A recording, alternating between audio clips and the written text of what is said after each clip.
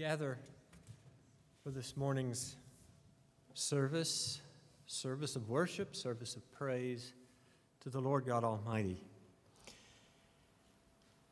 want to share with you an insight that uh, I had this week.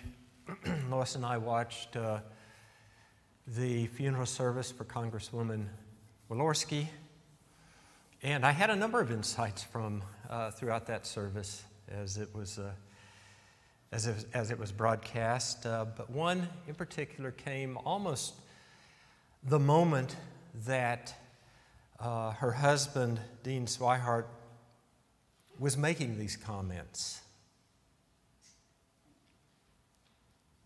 And among that which he said was this I cannot tell you the hundreds of times that we prayed that her position in Congress was not to be a position for her or I to get a big head, but that it would be used of the gospel to reach thousands of lives. We prayed that while the door of Congress was open for her, that those thousands would be touched. The insight, like I say, that was pretty much uh, immediate, was wondering, even this Sunday, today, as I planned ahead, to gather together to worship the Lord, how many times do we come with that attitude?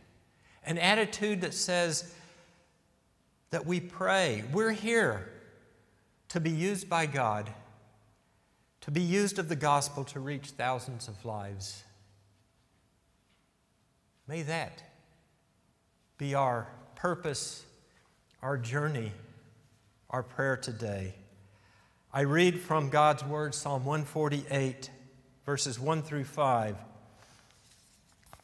Praise the Lord. Praise the Lord from the heavens. Praise Him from the heights above. Praise Him, all His angels. Praise Him and all His heavenly hosts. Praise Him, sun and moon. Praise Him, all you shining stars.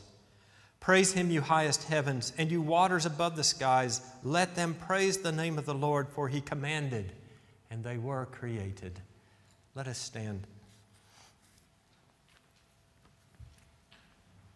This morning, Heavenly Father, we come to praise you and to worship you as we've done so many times before. May it never become so routine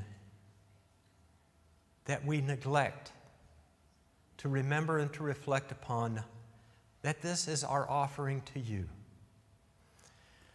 This is the offering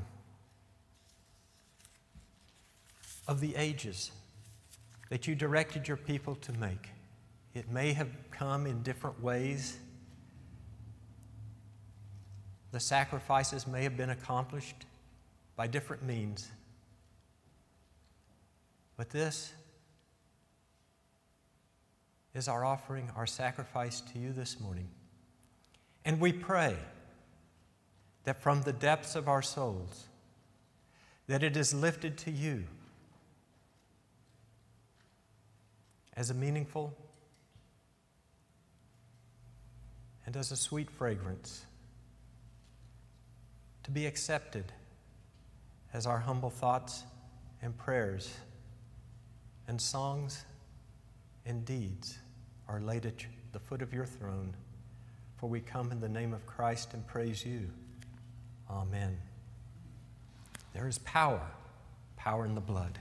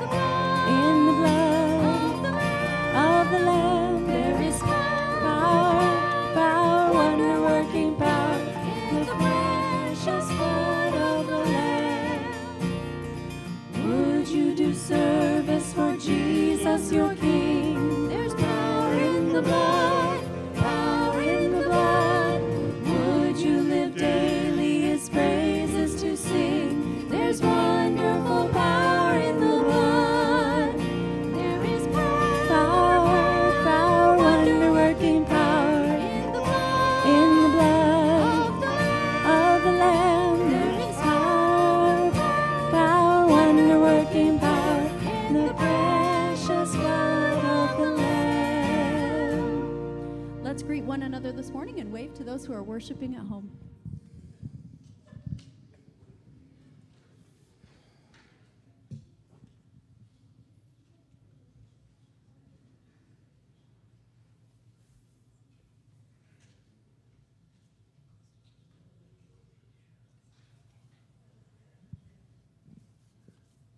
Good morning. I'm David Hurst, and your lay leader this morning. Like to welcome everybody to First Baptist Church. Uh, kind of refreshing to have the cool morning, although I understand it's a little nippy at Boat Church, but uh, it's, uh, it's refreshing not to, to uh, be perspiring quite like we are a lot of times. So, uh, a few announcements I'd like to go over. Um, monthly mission will be uh, ha- or Habitat for Humanity, and you can put that on your memo line if you'd like to dedicate part of your offering for that. Uh, on call. Has there been any changes to that? Does anybody know?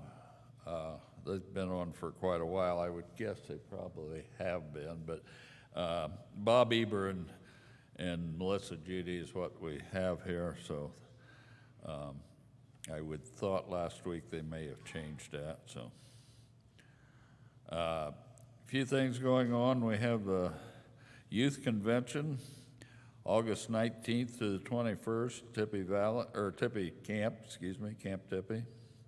Uh, There's information on there in your bulletin if you have a youth between sixth grade and, and uh, high school, or junior high or high school, uh, there's some information on that. Uh, Kids Club begins August 24th.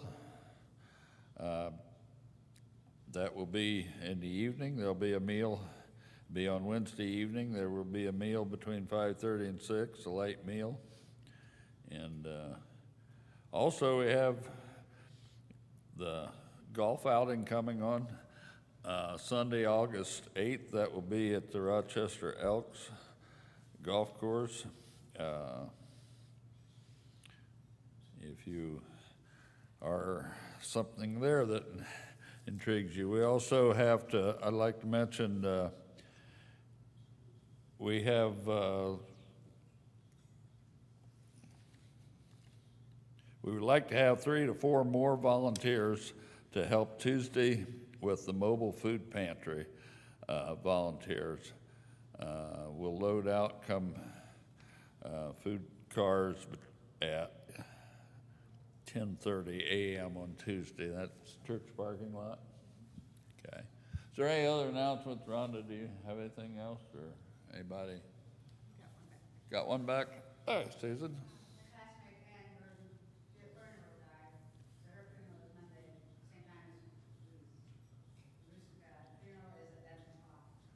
Okay, and that was? Ruth? Okay, Ruth Allen Fer- Furnable. Okay, thank you very much. Is there any other announcements? I have one. I just got an email that Drew Strasser is awake, the tube is out, and he's asking questions. Great. Ruth Strasser is awake, the tube is out. Drew Strasser. Excuse, me, Drew, I'm sorry. So there is good progress and good news there. Uh, Dave, Elsie, Marshall Strode came home Thursday night. Fantastic. Fantastic. Fantastic. Praise the Lord. Choir will start on Tuesday night, this coming Tuesday night at what time? Six o'clock. So, do we have anything else? We've got a lot to be thankful for. have a lot to say today. Yes, we do, and we got a lot to be thankful for, and praise, praises to give, and um, just like to bow our heads now for our, for our offering prayer. Our dear Heavenly Father, we, we just come to you so thankful for all that you do and all the ways that you have blessed us. We see you work in some of the most mysterious ways. and We see some of the, what seems like the saddest situations, but then you're there to turn them into a happy situation. You're there to turn them into a learning situation, a growing situation. Whether it be words from, that come from a funeral or so many things that you just work in such mysterious ways. Lord, we ask this time as we return unto you a portion of this of those blessings we've received. We just ask that you bless the gift and the giver. In Christ Jesus' name we ask these things. Amen. Will you please stand with us? We're going to sing together. We believe and we fall down. Um, in a time when um, sometimes we're surrounded by uncertain circumstances, um, we serve a God who is good and who is strong and powerful and who is love. Let's worship together.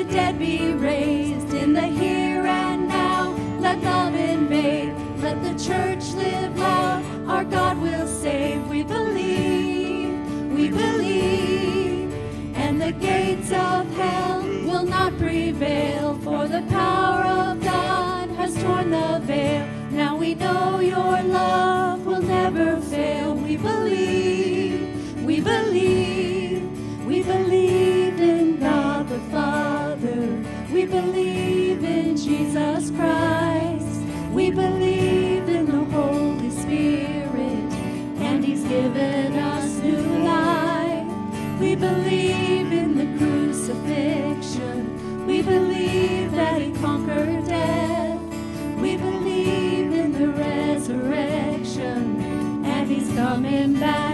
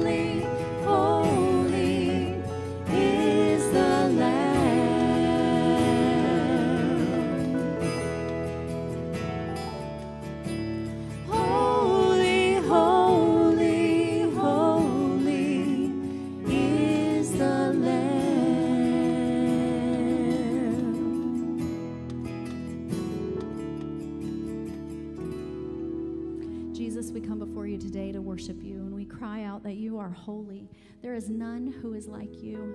Your power is holy. Your goodness is holy. Your love and your mercy. You are holy in, in every way, completely perfect. Lord, we are so thankful that you are a God who is holy, and in all of the things that you do, we can put our trust in you. We thank you that you have made a way for us to know you, that we could choose to believe, to have faith, to trust. We thank you that we have new life uh, when we believe in you and that we have new life to look forward to. We thank you that you are powerful, that you have conquered death, um, that there is, there is no thing that is more powerful than you that can separate us from you and from your love. We praise you today and we thank you for the work that you have done on our behalf. We want to give you glory with our lives and to share those good things with others. Work in us. Help us to, to do that with the power of your Holy Spirit. It's in your precious name that we pray. Amen.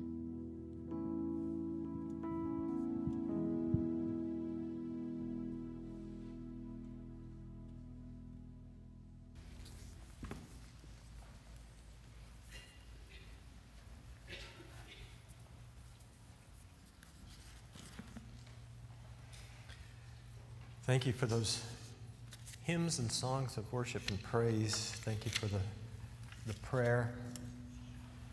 And I, I should ask to make sure there's no special music. I, I'm not cutting, cutting anybody off, am I? Uh, as I said uh, earlier, we, as I watched the uh, memorial service, I had a number of insights. Um, that were just, you know, would come on, flood, flood my mind, so to speak, at, uh, at various times. And, and another one that I thought of, and it's not only that service uh, this past week, but I wondered, you know, since it was obviously being broadcast in a number of, you know, probably a larger audience than most funeral services, most memorial services, I wondered how many people thought that, uh, or wondered what was going on at this funeral service because you know, this, was a, a, this was a sad event, a shocking event. Uh, here, here's a life that was taken in this particular auto accident. In fact, four lives taken. And, and, and they're coming together, and, and they're, there were some tears, there was some weeping, at least you know, dur- during the broadcast, much more uh, other times, I'm sure. Uh, but what's the matter with these people? They're celebrating. They're talking about uh, not an end, but a beginning or a continuation. And like I said, I, this is not the first time I've had this thought because I've been to a, a number of memorial services, I guarantee. Um, and, and, you know, there is a difference. There is a difference. There is a reason for celebration. We believe. We believe. And all those uh, uh, thoughts, doctrines, if you will, that were included in that, in that song are the reasons for our belief. That give us hope beyond what we normally tip typically think as a, as a funeral service or memorial service, which people look at as, as the end of a life. And, and it is right to mourn, it's right to grieve for as long as it takes. But, and there is a, a holy, a holy but, a holy something else. And that is we celebrate. We celebrate the victory that we have in Christ. And, and you know, to place the end at the beginning, you know, here's the question of the day do you believe? Do you believe? I can't answer that for you. Here in the sanctuary, here watching online, I can't answer that for you. You have to answer that for yourself. But I will say this that if you do not believe, or if you're wondering what in the world is this guy up here talking about, that God's hand, inviting hand, is wide open today And you can change that at any point this morning, at any point after this morning in your life with a simple prayer I believe. And there are, there are many resources and many people who are willing to help you and support you and celebrate with you that step of faith, that continuation of life into the life that comes after we call a moment of death. Our scripture lesson this morning is from the book of Colossians, chapter 1, verses 15 through 29. And Paul is writing about Jesus. That's who he's talking about here as I begin with verse 15. He is the image of the invisible God, the firstborn over all creation. For by him all things were created, things in heaven and on earth, visible and invisible, whether thrones or powers or rulers or authorities, all things were created by him and for him. He is before all things, and in him all things hold together. And he is the head of the body, the church. He is the beginning and the firstborn from among the dead, so that in everything he might have the supremacy. For God was pleased to have all his fullness dwell in him, and through him to reconcile to himself all things, whether things on earth or things in heaven, by making peace through his blood shed on the cross. Once you were alienated from God and were enemies in your minds because of your evil behavior, but now he has reconciled you by, by Christ's physical body through death to present you holy in His sight, without blemish and free from accusation, if you continue in your faith and established and firm, not moved from the hope held out in the gospel. This is the gospel that you heard and that has been proclaimed to every creature under heaven, and of which I, Paul, have become a servant. Now I rejoice in what was suffered for you, and I fill up in my flesh what is still lacking in regard to Christ's afflictions for the sake of his body, which is the church. I have become its servant by the commission of God, by the commission God gave me, to present to you the word of God in its fullness. The mystery that has been kept hidden for ages and generations, but is now disclosed to the saints. To them, God has chosen to make known among the Gentiles the glorious riches of this mystery, which is Christ in you, the hope of glory. We proclaim Him, admonishing and teaching everyone with all wisdom, so that we may present everyone perfect in Christ. To this end I labor, struggling with all His energy, which so powerfully works in me. Heavenly Father, may the words of your scriptures reach to the depths of our souls that we may proclaim alongside with Paul that it is your power that works in us. And as we gather here this morning, may it truly be a celebration. A celebration of life because life comes from you and those who walk in it have an abundant life. And we thank you, Lord, for your foundation, for your blessings, for your salvation. In the name of Christ we pray. Amen. In 1999, NASA launched a robotic space probe named Stardust. Its primary mission was to collect dust samples from the particles given off by the comet Wild 2 and return them to Earth for analysis. Although unheralded by the general news media of the time, yeah, show of hands, who heard about that in 1999? Okay, just checking. So, unheralded by the general news media of the time, this launch and the mission generated a great deal of excitement and hope among the scientific communities involved in these fields of study. This was the first sample return mission of its kind, and if successful, expectations were high that vast mysteries of the universe would be unlocked. you know, it turns out that some scientists uh, call comets the undercooked leftovers from the vast cloud of gas and dust that formed our solar system. Esoteric, I guess. eh? If it was possible to capture a comet sample, even just a thimbleful of dust, some believed they could answer some fundamental questions about the birth of the planets and the origin of life on Earth. Okay, launched in 1999. In 2004, Stardust entered the bright halo of dust and gas surrounding Comet Wild 2, survived a barrage of deadly debris that traveled at six times the speed of an assault rifle bullet, and began collecting the particles from the comet. In one article about this stage of the mission, Washington Post journalist Kathy Sawyer wrote Scientists speculate that as little as a half teaspoon of space stuff, her words, will serve as the basis for enormous and far reaching conclusions about the origins of the universe. That's some big speculation.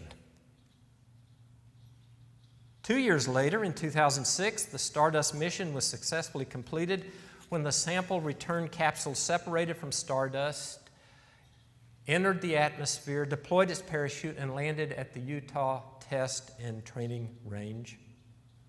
According to NASA, the sample harvest from Stardust consists of thousands of cometary product, particles. The total mass of return sample is estimated to be approximately one milligram, which is less than the half teaspoon or thimbleful that was hoped for, but the samples have received significant analysis since being brought to Earth. Results of the various analyses are available at several websites, easy to find. Do just do the search. And I'm sure that they are of great interest to many scientific disciplines. I don't understand most of them, the abstracts or in the, in the papers that were written, but you know, I'm sure that they are of great interest to many scientific disciplines. However, enormous and far reaching conclusions about the origin of the universe are not among the results of this amazing venture.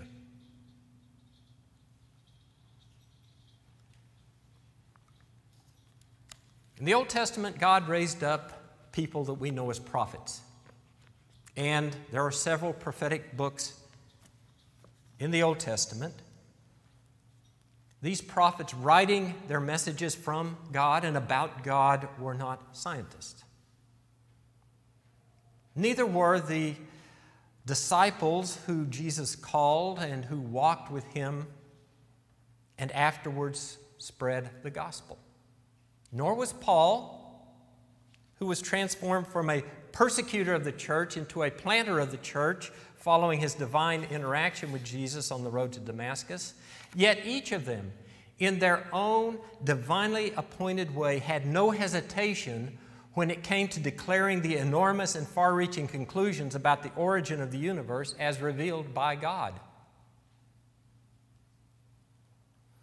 As amazing as the human journey into space exploration has been for about six decades now, it cannot compare to the knowledge and insight that Paul was given to pass along to the Christians living in his day and well beyond.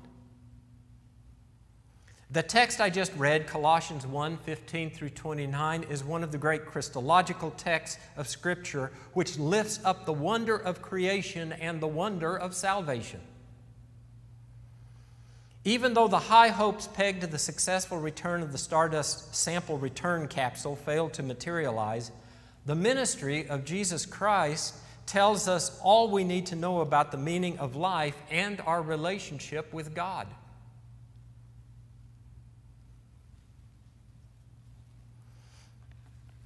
So, verses 15 through 18,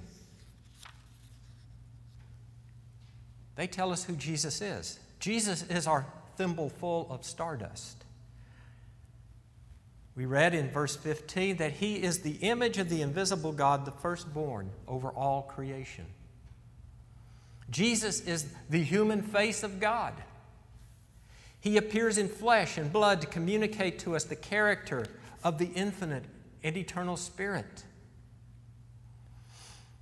In the Gospel of John, uh, chapter 1, verse, uh, verse 14,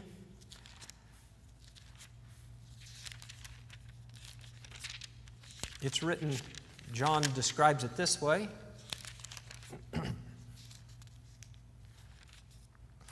that uh, the Word became flesh and made his dwelling among us. We have seen his glory, the glory of the one and only who came from the Father, full of grace and truth. Ignatius of Antioch, who was a leader in the early church uh, near the beginning of the second century, uh, commented that by the incarnation, God broke his silence. And in more recent times, perhaps a little schoolgirl put it best when she said, Some people couldn't hear God's inside whispers, so he sent Jesus to tell them out loud. You know, God was always real and active in the world before the advent of Jesus, before the birth of Jesus, but his will, but prior to Jesus, his will was brought to life by sinful men and women. Yes, they were chosen by him to be his messengers, but they fell well short of God's glory. No matter how good the translator, nothing beats knowing the language itself. So Jesus, who is God, spoke and acted without the need of a translator. Through Jesus, we see God's compassion out loud. Through Jesus, we feel God's power out loud. Through Jesus, we gain a glimpse of God's nature out loud. Then verses 16 and 17 go on to tell us For by him all things were created, things in heaven and on earth, visible and invisible, whether thrones or powers or rulers or authorities, all things were created by him and for him. He is before all things, and in him all things hold together. As Creator, Jesus has the authority to instruct us in all matters of life.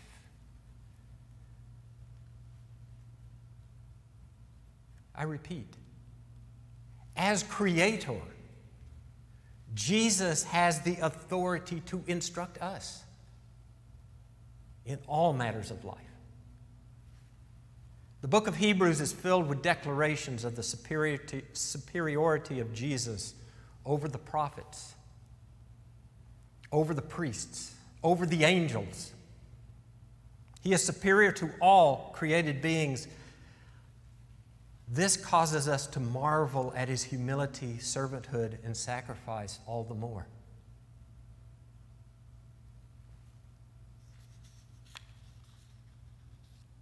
Paul acknowledges and lifts up Jesus as creator and then speaks to him as the head of the body. Verses 18 through 20. And he is the head of the body, the church. He is the beginning of the firstborn from among the dead, so that in everything he might have the supremacy. For God was pleased to have all his fullness dwell in him, and through him to reconcile to himself all things, whether things on earth or things in heaven, by making peace through his blood shed on the cross. Jesus is the head of the church. This church that we're sitting in this morning, church is a few blocks away, church is across the state, and you get the idea. Jesus is the head of the church. Our mission, our work, our love and compassion, our worship and praise all have a Christocentric flow and direction. Jesus Christ, who hurled whole galaxies across the endless stretches of space, is the same Jesus Christ to whom God was pleased to have all his fullness dwell, who is the one on whose orders we act, by whom we have been commissioned, and to whom we give glory.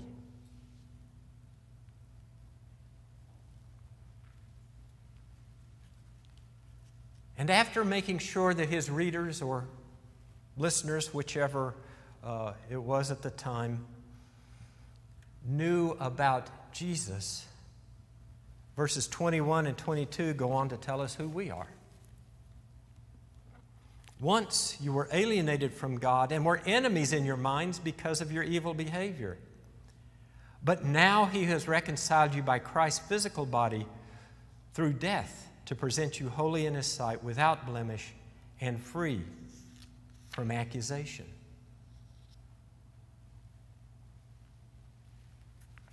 Alienated from God.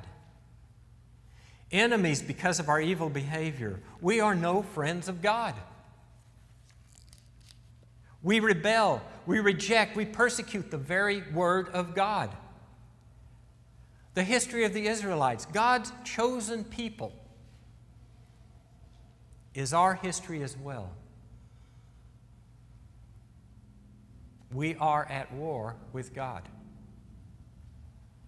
And this is where humanists and other philosophies get hung up. They attempt to transfer to God the blame for our rejection of God. I reject God, and it's His fault that I reject Him. That's what they do. That's what their philosophies are. Look them up. Since God cannot allow sin to coexist alongside His holiness, He judges us for our sinful behavior, our sinful rebellion. Those who fail to see any further become angry at God for His apparent cruelty. Why should God punish good people? They asked.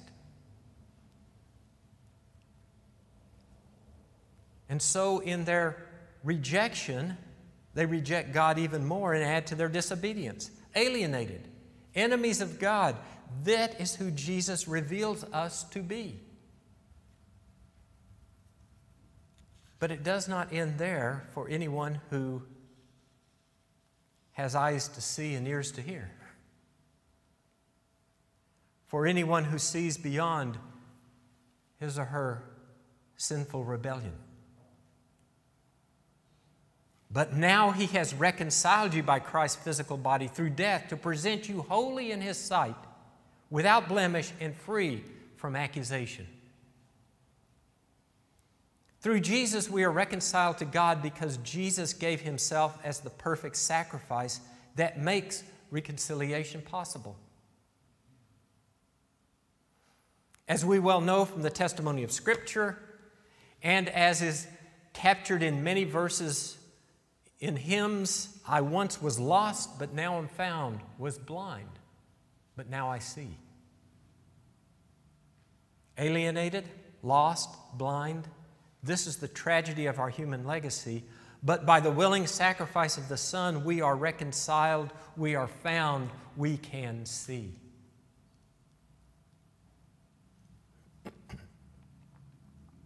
You know, even though there was great hope over what scientists thought they could discover in their thimbleful of comet dust, the reality remains that what they discovered has little impact on our lives. I didn't wake up this morning wondering oh, what, uh, what impact some comet is going to have on my life, did you?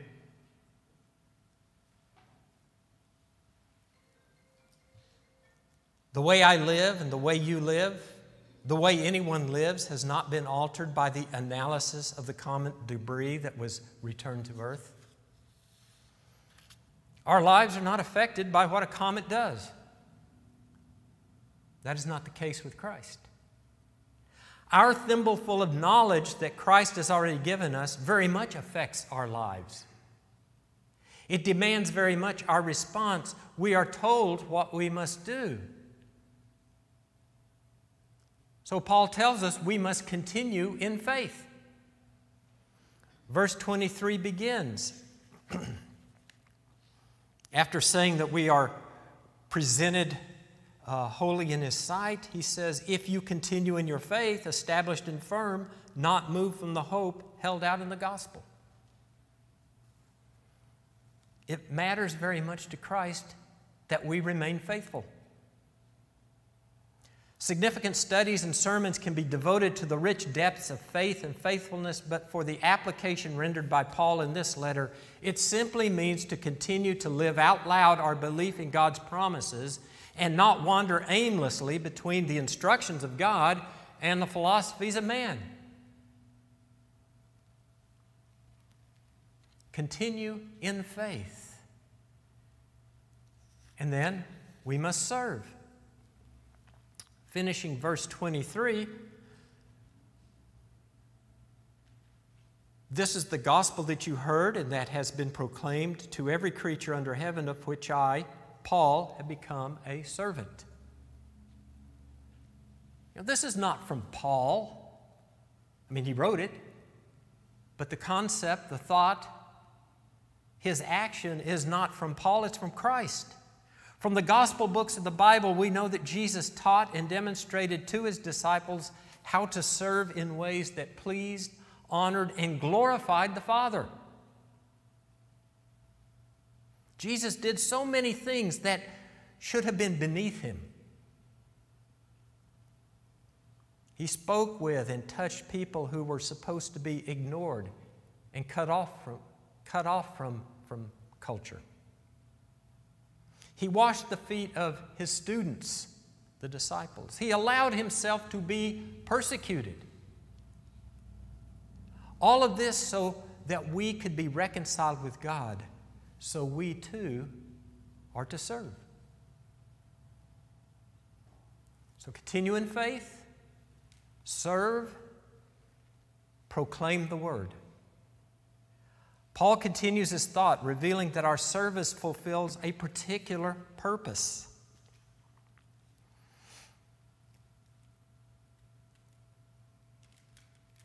I have become its servant by the commission God gave me to present to you the Word of God in its fullness, the mystery that has been kept hidden for ages and generations, but is now disclosed to the saints.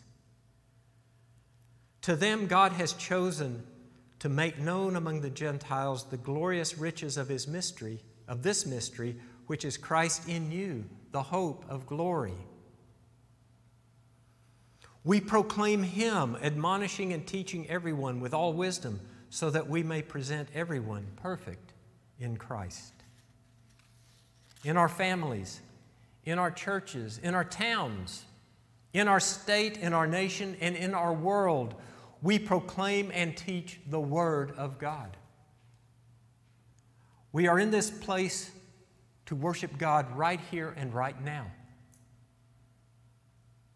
Because men and women of faith through, throughout previous generations have presented the Word of God in its fullness.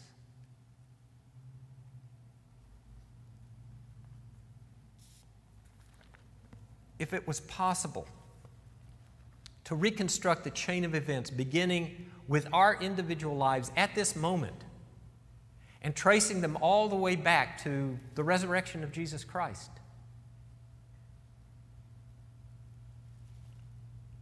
I think we would be utterly and completely astonished.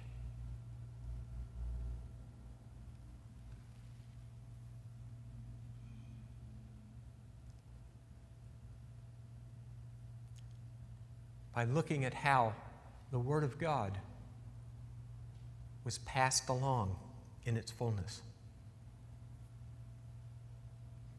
That is the power to which Paul testified in verse 29 To this end I labor, struggling with all his energy, which so powerfully works in me.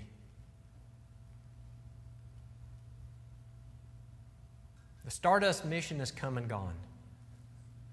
Even though it was a successful mission that has paved the way for further endeavors in space exploration, studying comets has thus far not offered humanity a lot in the way of improved lives. But studying Christ does. Knowing Christ does. Applying the mission of Christ to our lives changes and consequently improves our lives. In an earlier period of space exploration, American astronaut commander James Irwin reflected upon what he saw and experienced from the confines of the small space capsule in which he and his fellow astronauts traveled. The Earth reminded us of a Christmas tree ornament. Hanging in the blackness of space, as we got farther and farther away, it diminished in size. Finally, it shrank to the size of a marble the most beautiful marble you can imagine. That beautiful, warm, living object looks so fragile, so delicate, that if you touched it with a finger, it would crumble and fall apart. Seeing this has to change a man, has to make a man appreciate the creation of God and the love of God. When God landed on earth in Jesus Christ, it didn't seem like much to those whose minds were filled and clouded by rebellion and sin and their own self centeredness. As these Christological verses of Scripture make clear, though, we have learned everything we need from the mission of Christ who Jesus is, who we are, and what we must do. As all of the New Testament authors reveal, this one man, Jesus Christ, unlocks what we need to know about God and about life. Once you were alienated from God and were enemies in your minds because of your evil behavior, but, but now, He has reconciled you by Christ's physical body through death to present you holy to his, in His sight without blemish and free from accusation.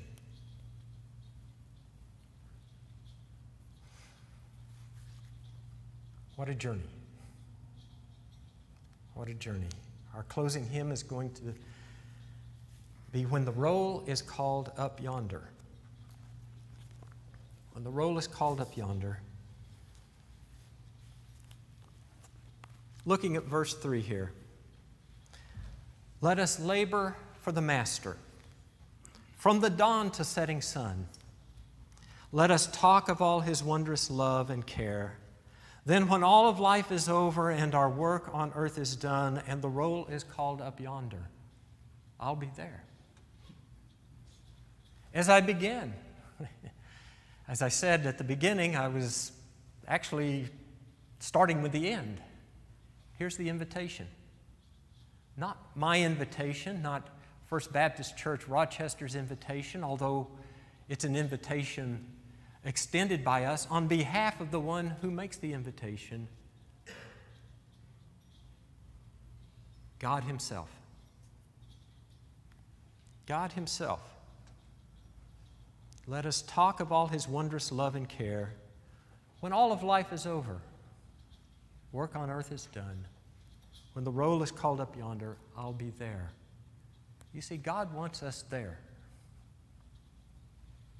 Brothers and sisters in Christ want you there because that's where the celebration is. And if you need for your own personal life to be placed upon that roll that's sung about here in this hymn, then believe, accept, repent, rejoice in the love of Jesus Christ Himself, who was our sacrifice on our behalf. If you need, to make that decision of life in your own life this morning, please share it now by coming forward as we sing or, or letting us know in the church office online through a letter or phone call to the church for those online. If you need to come and humble yourself before Him because there's some adversity in your life, maybe something that you're not feeling close to God, trust Him. He's still coming close to you. He hasn't left. So return to Him. And if you need help to do that, again, the altar is open. As we stand and sing, when the roll is called up yonder, if you need to come, please come.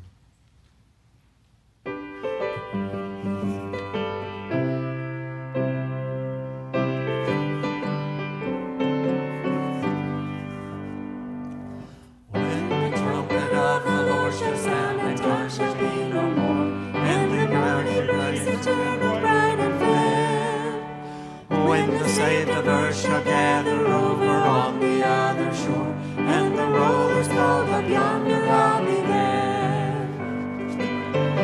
When the roll is called up yonder, when the roll is called up yonder.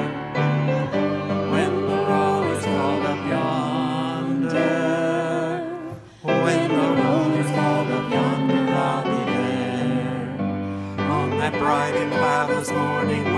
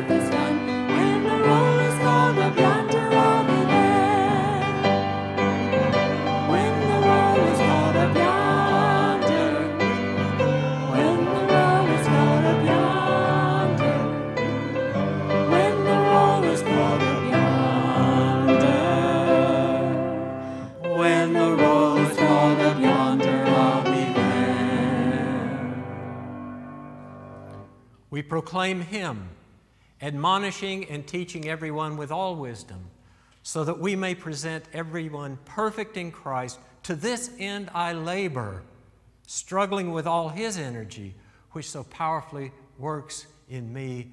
God has given us eyes to see His invisible image in the life and work of Jesus Christ, His Son.